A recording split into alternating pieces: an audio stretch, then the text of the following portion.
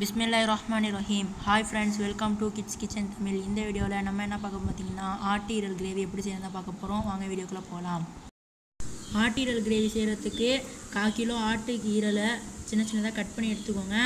ஒரு தக்காளி எடுத்துக்கோங்க ரெண்டு வெங்காயம் எடுத்துக்கோங்க ரெண்டு பச்சை மிளகாவும் நல்லா சின்ன சின்னதாக கட் பண்ணி எடுத்துக்கோங்க. இப்போ வந்து நம்ம கிரேவி செய்ய ஆரம்பிச்சிடலாம். அதுக்கு முதல்ல ஸ்டவ் ஆன் பண்ணி ஒரு கடாயை வச்சுக்கோங்க.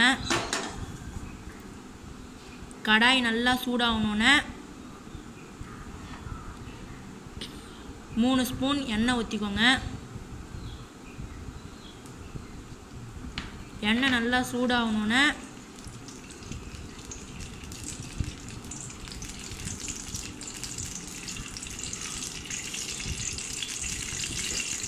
ரெண்டு பீஸ் ஏலக்காய் ரெண்டு கிராம்பு ஒரு பட்டை போட்டுக்கோங்க. அடுத்தது வெங்காயத்தை போட்டு பொன்னிறமாக வர வரையும் நல்லா வதக்கிக்கோங்க.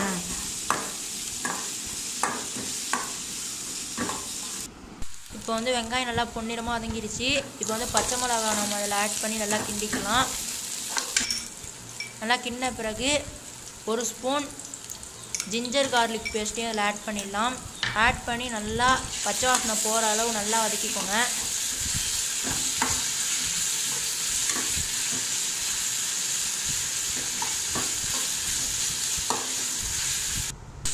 நல்லா வதக்கின பிறகு நம்ம ஏற்கனவே கட் பண்ணி வச்சுருந்த ஈரலையும் இதை நல்லா ஆட் பண்ணிக்கோங்க.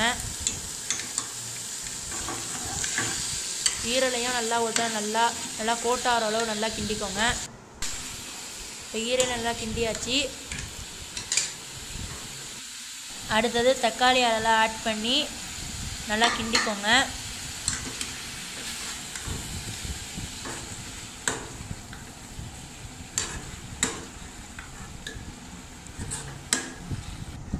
இப்போ வந்து தக்காளி நல்லா கிண்ண உடனே தேவையான அளவு உப்பு போட்டு நல்லா கிண்டிக்கோங்க.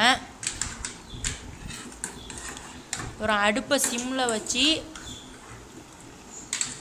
மூடி போட்டு மூடி ஒன் மினிட்ஸ் நல்லா வேக விடுங்க. இப்போ வந்து திறந்து பார்த்தீங்கன்னா ஈரலில் வந்து தண்ணி விட்டுருக்கோம் இதை ஒன்றொருத்தர நல்லா கிண்டி இன்னும் கொஞ்சம் நேரம் வேக வச்சுக்கோங்க.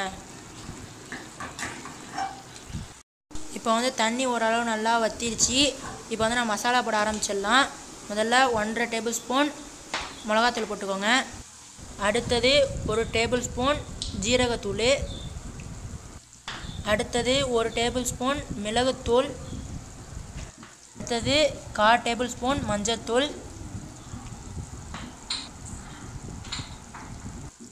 அடுத்தது பெருஞ்சீரகத்தூள் கால் டேபிள் ஸ்பூன்.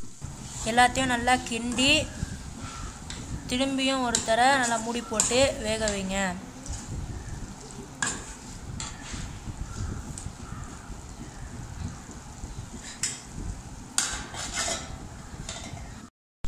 இப்போ வந்து வெந்துருச்சான்னு பார்க்கலாம். ஒன்றும் சரியாக வேவலை.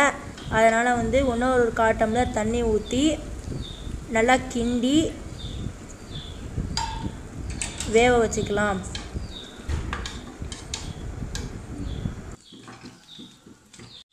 இப்போ நல்லா ரெடி ஆயிடுச்சு ஃப்ரெண்ட்ஸ் இப்போ நல்லா மல்லிபதினா போட்டு நல்லா கிண்டி நம்ம சர்வ் பண்ண ஆரம்பிச்சிடலாம்.